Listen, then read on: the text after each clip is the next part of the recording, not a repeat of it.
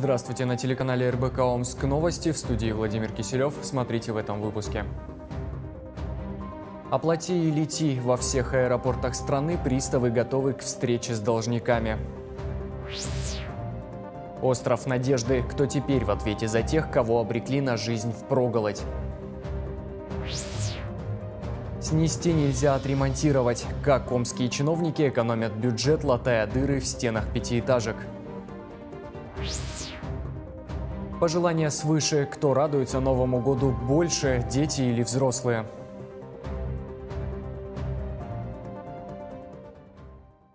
Торговые дома Омска снова стали жертвами телефонных террористов. Так, семейный торговый центр «Мега» оказался недоступен для покупателей. Вслед за «Мегой» эвакуацию объявили в двух других торговых центрах. В социальных сетях упоминается в том числе и фестиваль. В полиции ситуация пока не комментируется, а сообщается о том, что совместно с сотрудниками управления ФСБ и Росгвардии проводят проверку. Известно, что также эвакуация торговых центров идет в Томске. Напомню, что это уже третья волна волна звонков о якобы минировании общественных мест. Первые случаи массовых звонков зафиксированы в Омске 10 сентября, после чего волна ложных минирований прокатилась по всей России. Вторая эвакуация покупателей торговых центров и сотрудников административных зданий прошла 7 ноября. Число должников, которым может быть отказано в выезде за пределы Российской Федерации, снизилось перед Новым годом. Об этом сообщили судебные приставы. Однако в ведомстве рекомендуют не рассчитывать на чудо и заранее навести справки о наличии запретов и долгов для того, чтобы беспрепятственно пересечь границу. Сделать это необходимо не позднее, чем за 10 дней до запланированной поездки и при наличии долгов погасить их. Это можно сделать с помощью сервиса «Банк данных исполнительных производств» на официальном сайте Федеральной службы судебных приставов России в режиме онлайн через различные электронные платежные системы.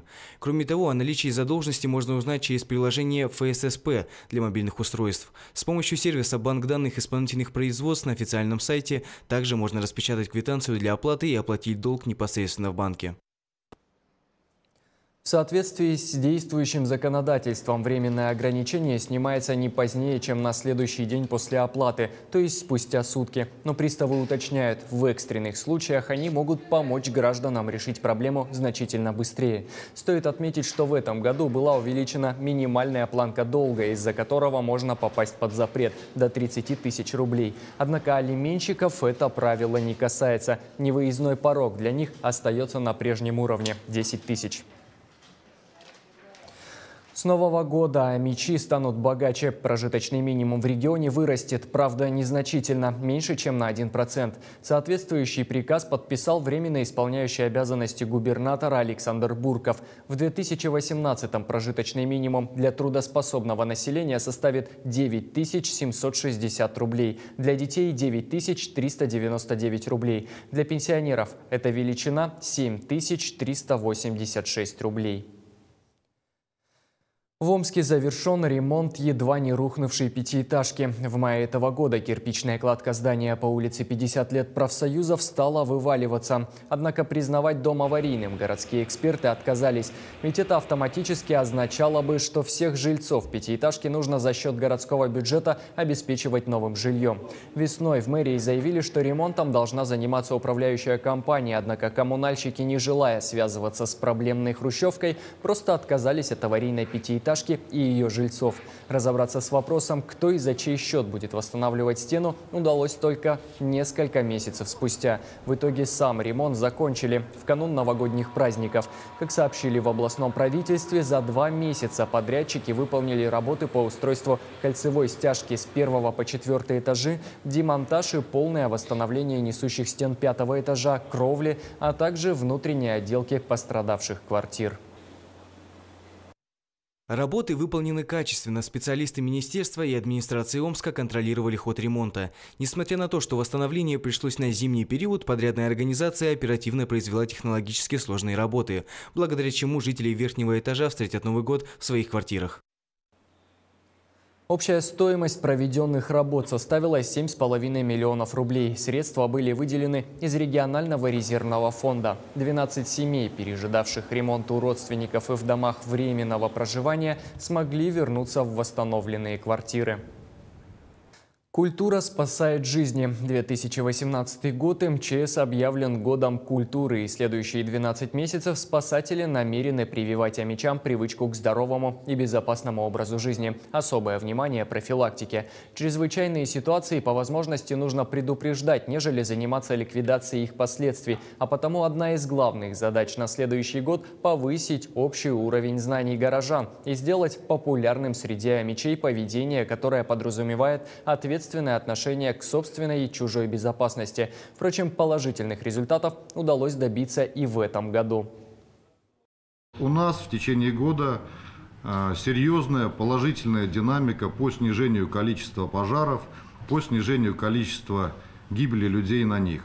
И это отрадно отмечать. Э, на протяжении уже, наверное, десятка лет мы количество пожаров техногенных снижаем, снижаем, снижаем. И я вам более того хочу сказать, что важно то, что снижается количество пожаров в жилье.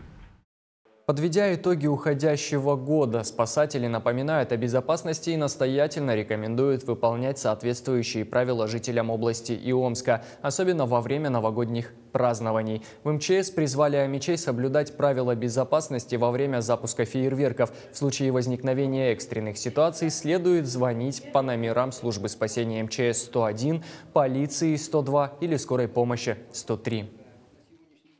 Омские ДК, театры и парки проверили на безопасность накануне праздничных мероприятий. Все 20 площадок успешно прошли контроль. С середины декабря специалисты проводили инструктажи по пожарной безопасности, а также уделили особое внимание гирляндам и другому световому оборудованию. Кроме того, горки в различных парках также прошли строгий контроль, но избежать жаркой дискуссии между амичами не удалось. Причиной споров стала горка в советском парке городка нефтяников. Так горожан возмутило то, что на одной из горок взимается плата за спуск. О том, почему за бесплатное развлечение приходится отдавать деньги, поговорим прямо сейчас с директором парка имени 30-летия ВЛКСМ Константином Лукашевичем. Константин Александрович, здравствуйте. Здравствуйте. А, расскажите, пожалуйста, как омские парки готовятся к новогодним праздникам, как обеспечивают безопасность и так далее? Омские парки, безусловно, ждут наших жителей и гостей на новогодние праздники. И, пользуясь случаем, мы их всех приглашаем и говорим об этом. И э, подготовка началась уже задолго, потому что мы видим результат тот, который есть у нас в парках. Это открытый ледовый каток. 15 числа построенные горки – Э, прошедшие э, выходные, когда открытие новогодней елки прошло в 30-летие э, ВЛКСМ, в парке Советском окружная елка была открыта абсолютно на днях, в саду Сибирь открыта окружная елка. Все пространства, которые относятся к парку 30 лет ВЛКСМ, готовы к празднованию Нового года. Безусловно, основным праздником, который будет, это новогодняя ночь, которая будет проходить в парке 30 лет в ЛКСМ. Начнется мероприятие с 23 часов и закончится в 3 часа. Организованы, э, организована хорошая концертная программа, культурно-массовые мероприятия в новогоднюю ночь. Привлекается общественный транспорт для того, чтобы людей доставить в парк и увезти обратно. Все, всю эту информацию можно найти на сайте администрации, на сайте парка, в интернете, в сети интернете, или позвонить просто в администрацию парка и уточнить все моменты, которые будут интересовать жителей. Безусловно, не останутся без внимания э, после новогодние сразу дни, когда э, праздничные дни, выходные. Это с 1 по 8 в парке 30-летия будет организована культурно-массовая программа, которая будет проходить на центральной эстраде с 14 часов. В саду Сибирь 3, 5 7 э, будет проходить тоже мероприятие в парке Советском в те же самые дни 3, 5, 7 числа, в 14 часов будут культурно-массовые мероприятия. Ну и, безусловно, воспользоваться теми площадками, которые есть в парках, во всех абсолютно. Они, в принципе, однотипные, могут только отличаться э, объемом. Это обязательно горки, самые востребованные зимой – зимние развлечения для всей детворы, ну и взрослые тоже очень часто пользуются вот этими услугами горок. Обязательно лыжня, которая организована в 30-летие ВЛКСМ, 3,5 километра э, в парке. В парке Советском такая же. В парке Советском даже она более профессиональная, потому что там прямо занимаются спортсмены, там очень хороший рельеф, позволяющий сразу, это делать. Сразу уточню, можно арендовать и инвентарь, чтобы покататься на лыжах. Да, прокат организован и в 30-летии, и в саду Сибирь, и э, в парке Советский. Можно взять и лыжи, э, коньки в 30-летии можно взять на прокат, так как организован ледовый каток. Но и, безусловно, те принадлежности, которые для того, чтобы кататься на горках. Есть такая услуга замечательная, которая и жители задавали такой вопрос, можно ли будет покататься на оленях. Можно. В парке Советском и в парке 30 лет в ЛКСМ эта услуга у нас есть. А, накануне в социальных сетях между мечами разразился скандал, споры жаркие о том, что одна из горок в Советском парке, если не ошибаюсь, а, она оказалась платной. Почему необходимо сделать а, прокат на горке платным? Э, на самом деле, вот так, для, если убрать все эмоции вот из того, что пишут э, в сети интернет, в принципе, э, анализ этот очень хороший и полезный для нас, для организаторов. Но статистика. У нас в парках вот 30-летие больше 20 горок. И эти горки все бесплатные. И та горка, которая заявляла, что она платная, на самом деле там платный прокат – тюбинги, которые сдает арендатор в аренду. А горка сама, она как была бесплатная, так и остается. Единственный момент, который я хотел бы подчеркнуть, и вот в соцсетях, вот листочек у меня не случайно лежит, мне очень понравилось одно выражение э, жителя города Омска, который конкретно пишет о том, что, э, дорогие мои, что изменилась ситуация вообще в стране, изменилась ситуация в законодательстве, что если раньше можно было спускаться там, где захочу, там, где мне э, понравилось, то сейчас предприятие, которое э, осуществляет хозяйственную деятельность, оно несет за это ответственность. Поэтому наша граница ответственности – это людей предупредить, что здесь опасно. Поэтому появляются такие надписи, что спуск опасный, что будьте осторожны. Это наша обязанность как предприятие. А о том, что вот эта горка обсуждается, что она платная, она сделана экстремальная. С 2016 года вышел ГОСТ 56, э, даже я вот цифру назову, 987 от 2016 года. Если кому-то интересно, могут посмотреть, почитать его. Все горки, которые организуются, они подведены под ГОСТ. То есть я, как хозяйствующий субъект, должен горки сделать все так, как положено по стандарту. То есть должен быть уклон определенный, безопасные э, спуски, безопасный выкат – должно быть организовано освещение. Если этого не соответствует, следовательно, я как хозяйствующий субъект должен поставить знаки, что опасный спуск. Поэтому такие знаки и стоят в парках. Но в парке Советском, там, где сейчас обсуждается, сейчас достаточно горок для того, чтобы кататься. Вплоть до того, что и эта горка, которая сделана экстремальная. Она экстремальная, на ней кататься на санках – на каких-то других приспособлениях нельзя.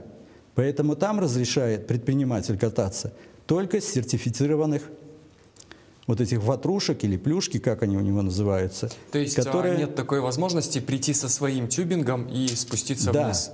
она экстремальная и идет под грифом аттракцион. Вообще все горки, они как аттракционы сейчас идут. Поэтому он несет ответственность по договору за спуск с этой горки. И если что-то произойдет, он будет выплачивать компенсацию. Поэтому он на нее просто лишь-напросто с нетестированным оборудованием не запускает. Вот и все.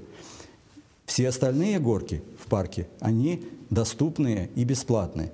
Но все равно я бы хотел обратиться, пользуясь случаем, к зрителям, о том, что будьте осторожны. Потому что факты в 30-летии, когда приходят на горку, которая четко прописаны правила, четко обозначены, как себя должны вести – приходят на металлических санках. И вот с наших шестиметровых горок, достаточно опасных, спускаются вот на этих санках. Естественно, что мы делаем замечание, что стараемся, чтобы такого не происходило, потому что он представляет опасности себе и окружающим. Поэтому мы принимаем меры для того, чтобы пришел ребенок в парк или родители, чтобы они были здоровы и ушли все с хорошим настроением. Константин Александрович, я думаю, после нашей с вами беседы а, все посетители парков поймут, что в первую очередь руководители думают о безопасности этих самых посетителей. Давайте на этом завершим нашу беседу. Спасибо большое за то, что пришли. Стоит отметить, что в Советский парк приглашают и любителей подледной рыбалки. Администрация гарантирует безопасность тех, кто находится в поисках спортивного азарта. Напоминаю, что в гостях студии телеканала РБК Омск был директор муниципального предприятия города Омска «Парк культуры и отдыха» имени 30-летия ВЛКСМ Константин Лукашевич. А мы переходим к другим новостям. Пока мечи будут пить шампанское, коммунальщики будут работать лопатами. Оксана Фадина оставила коммунальным службам один выходной, 1 января, и заявила, что на протяжении всех остальных выходных до 8 января будет следить за их работой лично. Как собирается отмечать Новый год сама Оксана Фадина и чего желают амичам власти города, смотрите в нашем следующем сюжете. Мечтайте, верьте и ждите. Пожелание главы региона под главной елкой области вполне может стать девизом для всего Омска в новом году. Александр Бурков призывает всех омичей к миру и дружбе. Мира среди элит, мира среди конкурентов, да, э, бизнес-конкурентов и э, общего духовного мира между конфессиями, между разными национальностями. Именно только в условиях мира, в условиях общности какой-то одной цели можно достигать высоких результатов. Омск вступает в Новый год с серьезными обновлениями в политической жизни. Внешне нужно соответствовать. Пользователи соцсетей уже оценили новогодний креатив нового мэра Омска. В администрации решили отказаться от разноцветных гирлянд из лампочек Ильича. Взамен светодиодные фонтаны. Дома же у Оксаны Фадиной свои традиции, теплые и семейные. Когда бьют куранты, выходим живем в частном секторе, выходим обязательно с бокалом шампанского и с мандаринкой. На холоде это очень вкусно. И смотрим салют, и обязательно выходят у нас соседи, это уже вошло в добрую традицию. Мы именно на улице поздравляем друг друга, смотрим салют, обмениваемся добрыми пожеланиями. Ну и у меня, как у хозяйки, есть тоже старая добрая традиция. Каждый год, 31 декабря, я ставлю на стол галантин из курицы с гусем. Город с такой хозяйкой тоже может стать уютнее. Как оценивают вкусы градоначальницы в областном правительстве, чего желает главный финансист Омска и почему в наступающем году дизайнеры смогут делать не только красивые, но и по-настоящему добрые и полезные вещи. Обо всем этом вы узнаете в итоговой программе Марины Мальковой на нашем канале в субботу в 17 и 19.00. Сидеть!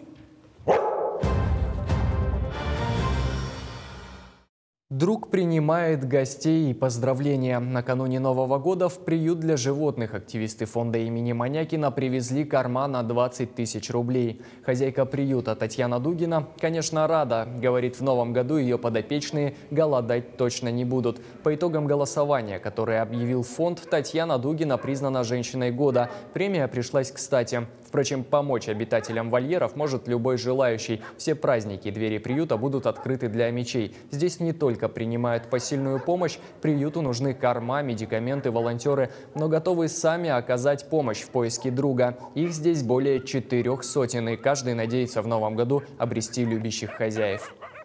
У нас 400 замечательных э, собачек, которые каждый из них ждет свой дом. А, и каждый надеется, что в год собаки у них появится этот дом надежный, добрый и любящий хозяин. Помощь также нужна и приюту «Омские хвостики». Недавно волонтеры спасли 15 собак, которые могли погибнуть в спецавтохозяйстве. В народе это бюджетное учреждение называют концлагерем для собак. Так что сейчас в приюте «Омские хвостики» более 300 животных, и за всеми нужен уход. Первыми вызвались помочь активисты «Молодой гвардии». Подробности в сюжете Людмилы Семеновой. С полными мешками подарков активисты молодой гвардии идут проведать омские хвостики, так ласково здесь называют бездомных собак и кошек. Корм, пеленки, покрывала, бытовая химия. В приюте рады любой помощи. Ситуация в омских хвостиках почти катастрофическая. После Нового года лечить и кормить четвероногих подопечных будет нечем. Мы сделали выезд еще в ноябре, и оказалось, что они находятся в плачевном состоянии, и решили сделать большой новогодний подарок от всех нас. Приют «Омские хвостики» не получает поддержки из бюджета и существует исключительно на пожертвования мечей. Количество животных уже перевалило за три сотни. Недавно волонтеры спасли 15 собак. Животные находились в спецавтохозяйстве и ждали верной смерти. По регламенту бюджетного учреждения собаку усыпляют на десятый день после отлова. Теперь у хвостиков наступила вторая жизнь.